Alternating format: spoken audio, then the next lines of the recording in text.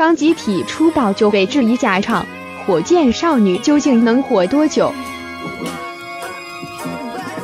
自从《创造一百零一》这档选秀综艺节目开播以来，就吸引了不少话题。从这档节目中，人们认识到了勇于追求自己梦想的小姐姐王菊，也认识到了杨超越这位农村女孩，更认识了一大群有钱、有颜值又有实力的女孩。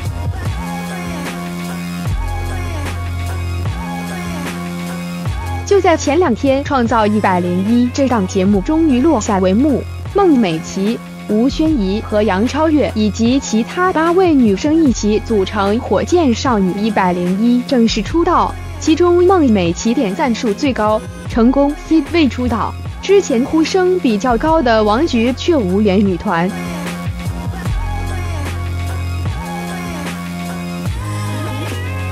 这其中争议更大的还是要数杨超越。在得知杨超越第三位出道之后，不少人都对其自身能力表示怀疑。人们不明白为什么这个唱歌走调、业务能力较差的女孩可以有这么高的呼声。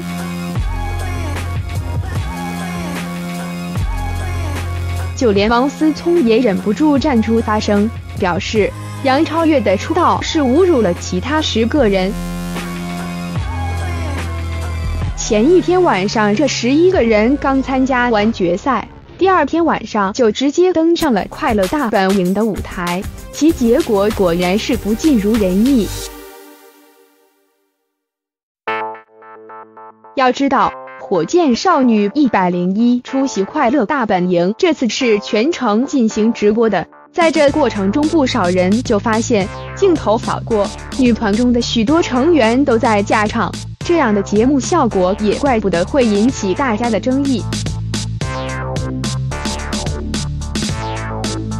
不仅如此，火箭少女中的孟美岐还因节目与何炅上了一次热搜。节目播出，大家都以为何炅是拉住孟美岐的手，但何炅很快站出来澄清，表示只是拍摄的时候借位，进而制造出了一次假象。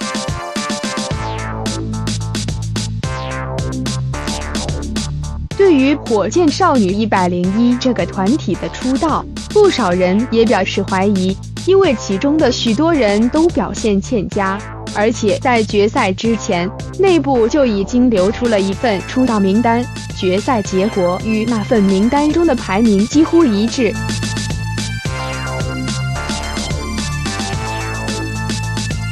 所以有人也表示，创造一百零一这个节目有失公允。火箭少女一百零一究竟能火多久，还是一个未知数。不过可以预估的是，这之后还会有类似的团体被不断推出。